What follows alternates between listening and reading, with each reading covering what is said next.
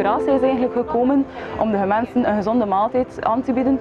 Dat van vandaag hebben de mensen heel weinig tijd om nog gezond te koken. Vooral die groenten vragen veel tijd om te bereiden. Vandaar ons concept met heel veel groenten.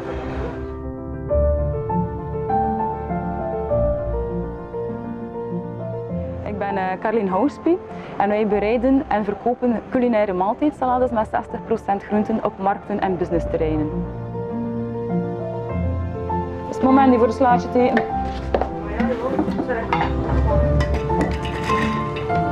En nog de mango maker. Het eerste jaar heb ik hulp gezocht bij POM, de actie voor starters. En daar heb ik dan ook een um, externe consultant aangewezen gekregen die mij heel goed geholpen heeft bij uh, de social media, het naar buiten komen met mijn product. heeft me heel erg goed geholpen.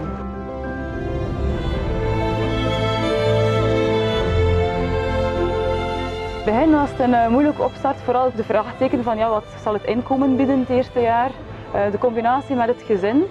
Uh, maar uiteindelijk is dat allemaal wel goed gekomen. Even doorbijten en het komt in orde.